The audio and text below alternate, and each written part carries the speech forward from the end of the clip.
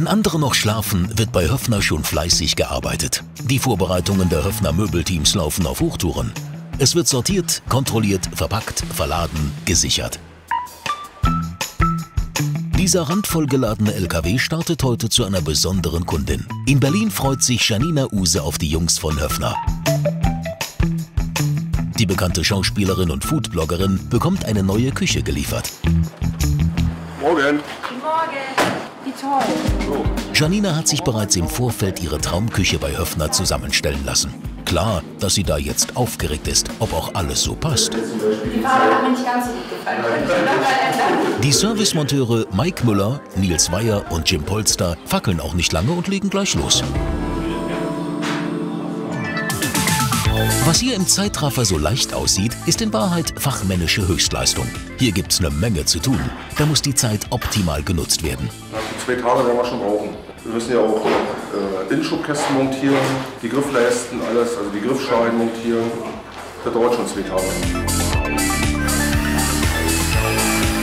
Hier sind Profis am Werk. Teamwork ist gefordert und jeder Handgriff muss sitzen.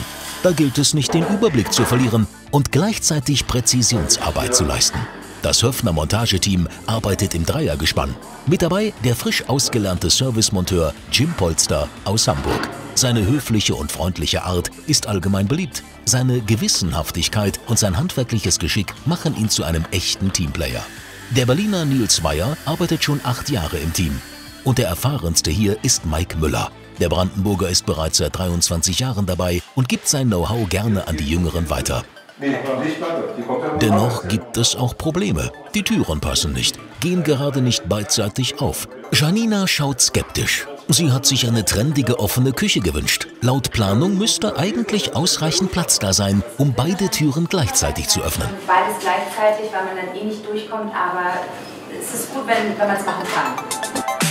Für die Profis vom Höfner-Team ist das aber keine große Herausforderung. Nach ein paar wenigen Handgriffen passt alles. Oh, auch das haben wir hingekriegt. Ansonsten liegen wir gut in der Zeit. Gut.